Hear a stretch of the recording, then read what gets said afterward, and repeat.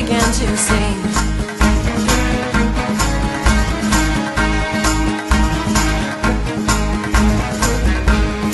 In between dark and light, in the underworld, wrapped around your finger like a string of pearls. Smiling face, empty hands, seven golden rings.